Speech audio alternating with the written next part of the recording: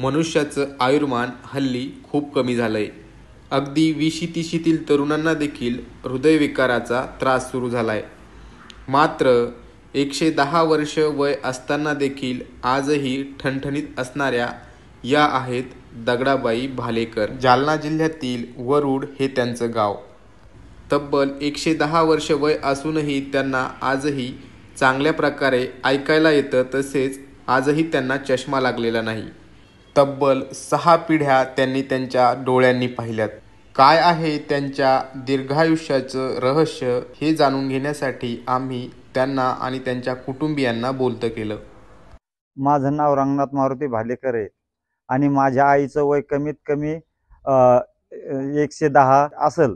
आणि त्यांचं जेवण जर म्हणसान तर बिलकुल भा पाल्या भाज्या आणि जुन्या पद्धतीचं होतं. त्यांच्या भाकरी आम्हाला सुद्धा चांगल्या आठवत्यात. की हातावरल्या भाकरी करायच्या आणि चुलीवरच करायच्या. भाजीसुद्धा आपले तीळ कराळं किंवा इतर वाटूनच करायच्या. पूर्ण पाल्या भाज्यासुद्धा रानटीच असायच्या. थोडं म्हणजे आमच्या अगोदरच्या काळात आम्हाला थोडं लहानपणी आठवतंय की त्यांनी आम्हाला रानच्याच भाज्या आणून खाऊ घातलेले. आहे आणि आमच्या आजीचं व- आईचं वय आज शंभर वर्षाच्या एकशे दहा वर्ष असून सुद्धा त्यांना कधी दवाखान्यात बी न्यायचं काम पडलं नाही. फक्त या दहा वर्षाच्या काळामध्येच त्यांना दवाखान्यात एक अर्ध्या वेळेस न्यावं लागतं. आणि ते बी साध्या दवाखान्यात बी नेलं तरी एक इंजेक्शन दिलं की त्या ठीक होत्यात. आजपर्यंत त्याचे त्यांचे पाय सुद्धा दुखत नाही. माझं नाव सुनीता रंगनाथ भालेकर आमच्या सासूबाई भरपूर वय झालेली त्यांची. एकशे दहा वर्ष वय आहे. त्यांचं खाणं पूर्ण आयुर्वेदिक चांगलं होतं शेतीतलं.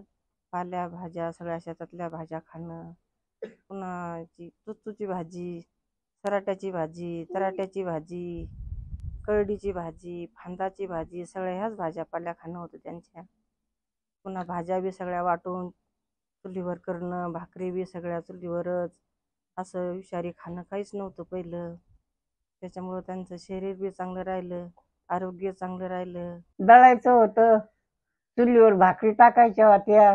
लईनी नव्हत्या औषध नव्हते पाणी नव्हतं काय नव्हतं. बरं. कळायला लागल्यापासून औषध पाणी निघली. पहिलं काय नव्हतं. दगडाबाई भालेकर यांना एकूण सहा मुली आणि दोन मुले आहेत. आज घडीला त्यांच्या नातीला देखील नात झाली आहे. यामुळे एकूण सहा पिढ्या त्यांनी स्वतःच्या डोळ्यांनी पाहिल्यात. आपल्या जीवनात त्यांनी सगळी कामे केली. एवढी कामे करून देखील खानपान नैसर्गिक असल्याने आणि विषारी कुठलेही घटक शरीरात जात नसल्यामुळेच आपलं शरीर ठणठणीत राहिल्याचं त्या सांगतात. आता गंज खाल्लं बाबा आंबड्या खाल्ल्या फुलगे खाल्ले निळे हाबरेट फांदाची भाजी खाल्ली तांदूळ कुंदऱ्याची भाजी खाल्ली सराटा खाल्ला. निसर्गाला अनुरूप अशी जीवनशैली आणि खानपान यामुळेच दगडाबाईंनी वयाची शंभरी पार केली आहे. त्यामुळे हेच त्यांच्या दीर्घायूचं रहस्य आहे असं म्हटल्यास वावगं ठरू नये. Narayan Kale news eighteen Marathi Jalna.